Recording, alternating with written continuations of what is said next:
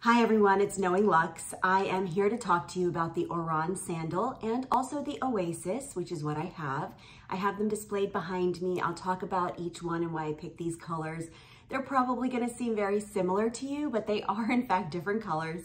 And I'll talk to you about the comfort, whether I think it's worth it, and what specifically to look for before you buy them, because there is a small nuance to them that I think makes a huge difference for comfort and technically for the quality uh, with which it is made. So let me get into that. Specifically, I wanna start with, I guess, the Oasis, since I only have one pair of that. That is the, I have it in like this, oh gosh, I'm sorry, I don't have like the names. Not that it matters because they change so much off and on. And um, this is like a metallic bronze or even a little bit of a rosy bronze. It is a few years old at least. Um, you know, I wear this a lot for when I want to take something on vacation that is comfortable, but also has a little bit of, you know, an evening look to it because of this, you know, the shininess of the of the leather and the little bit of heel helps me feel a little bit more elegant and also look better when I wear skirts, but I don't like a heel bigger than this for when I travel because it's not practical. We like to walk after dinner or before dinner and you're often, you know, taking things in as you're sightseeing and sometimes going from one thing to another. So this is the kind of heel height that I think works really well for just doing whatever you need to do on whatever outing you have to go to. The other thing I wanna mention, which I think is the most important when you're looking at either the Oran or the um, the Oasis is for the footbed. So I think it's easiest to see actually on this one because there's a seam here on the end and then there is no other seam on the footbed. Sometimes you will see sandals have a seam right here. And the problem with that is that the seam over time begins to actually hurt your the balls of your feet. And I know that this is a really small thing, but I don't baby my shoes. I like to just wear them. Sometimes I go anywhere in them.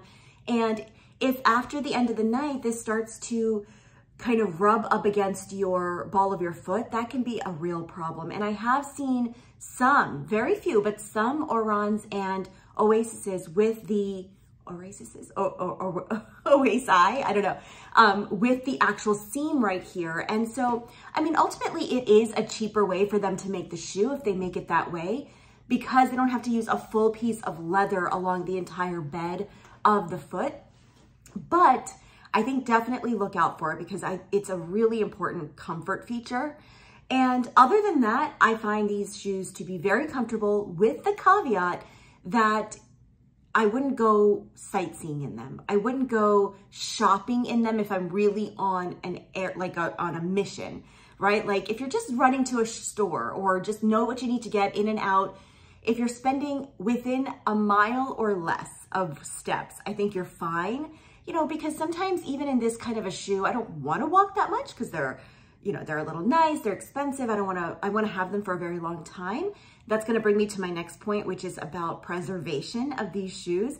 I do spray them with the Cadillac leather spray that actually protects the leather from damage.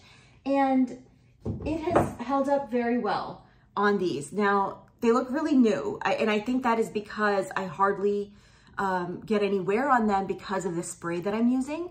And the other thing that I do, these ones are a little bit dirtier because I wear them more, is I get the sole protected with the rubber and I just get this done at a local shoe repair place. Now I wish I would get, I would have gotten the bottom done. I actually might take this back and get the bottoms done as well. They charge a little bit more for that, but I think the longevity is, is helped with that.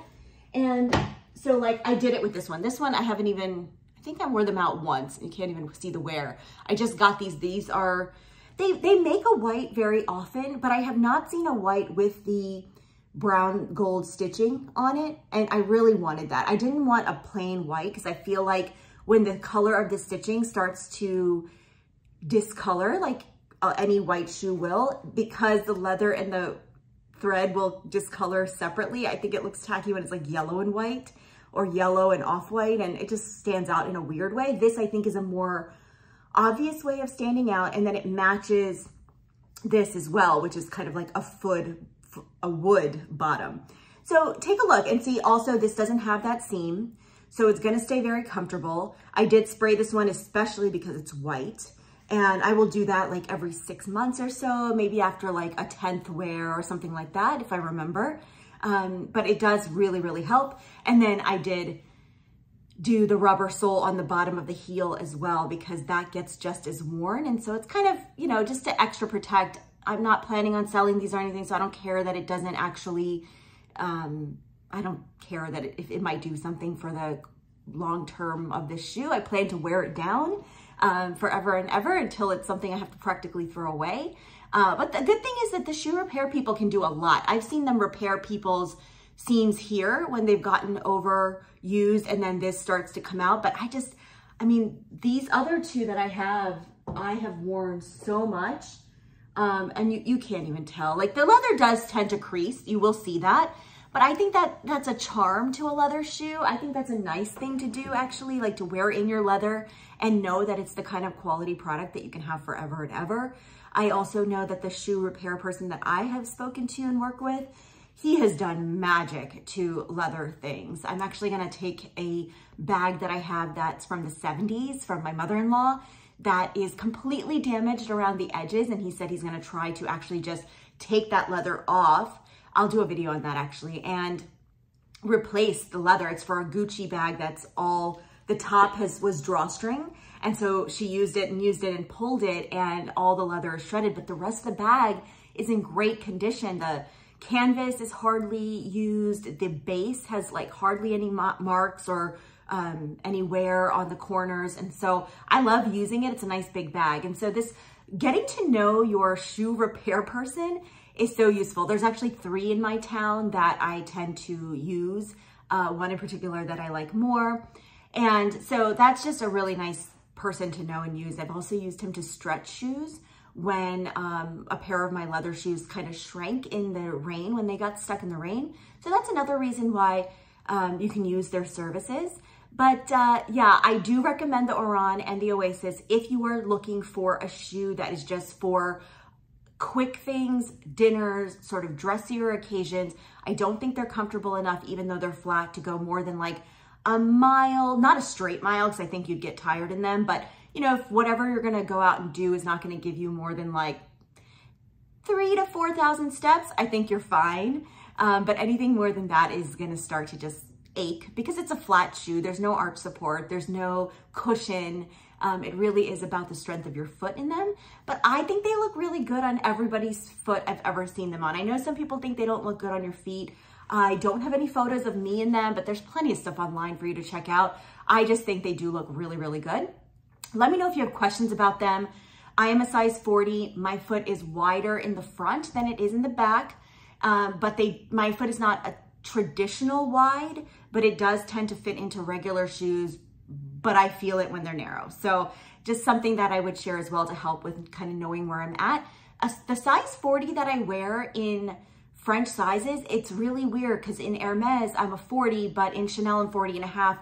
In Dior, I'm 41. So it makes really no sense to me why they're so different. It also probably depends on the shoe itself. Like in Gucci, I'm even smaller. So that is something to consider as well. I usually wear like Nike's a size nine and a half, um, Adidas eight and a half. So that might give you an idea of whether or not these are gonna fit you at a size 40. I think that sizing is so tough. But I will say that the customer service at Hermes has always been really, really lovely. Even when I wasn't able to go into a store and I had to order through the sales associate and have it shipped, like they let me know what the shipping return policy is and I had no trouble. I've never had to do it, thankfully. I've been able to go in and know my size, but if I had, um, the guy was just like really, really nice about it. So I recommend them. I think they're cute. I don't see them around as much as I thought I would. Uh, I think on the luxury circuit, they tend to be considered kind of basic, but I think they're really cute and just forever shoes. So there you go. Thanks for listening and watching. Please subscribe. I look forward to doing more of these videos.